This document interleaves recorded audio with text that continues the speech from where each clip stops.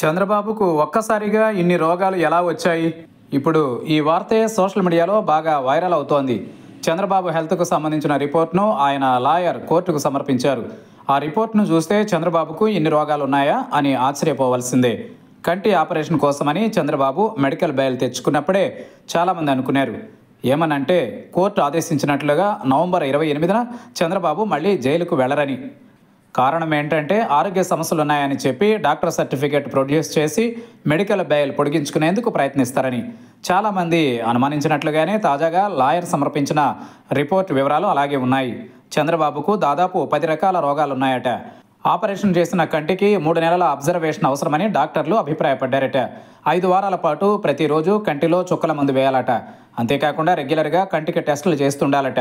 అలాగే చర్మ సంబంధిత సమస్యలతో బాధపడుతున్నారు కాబట్టి దానికి ట్రీట్మెంట్ చాలా అవసరమట. గుండె సంబంధిత సమస్యలు కూడా ఎక్కువగానే ఉన్నాయట. గుండె పరిణామం ఉబ్బిందట. చంద్రబాబు ఎక్కడికి ప్రయాణం చేసినా వెంట ఒక డాక్టరు హార్ట్ ఎక్విప్మెంట్ ఉండాలట. గుండెకు రక్తం సరఫరా చేసే రక్తనాళాలు కూడా ఉబ్బాయట. మొత్తం మీద రిపోర్ట్ చెప్పేది ఏమంటే చంద్రబాబు మరికొంతకాలం డాక్టర్ల పర్యవేక్షణలోనే పూర్తి విశ్రాంతిలో ఉండాలని. ప్రస్తుతానికి షుగర్ బీపీ అదుపులోనే ఉన్నా దీనిని కూడా డాక్టర్లు రెగ్యులర్గా చెక్ చేస్తుండాలట.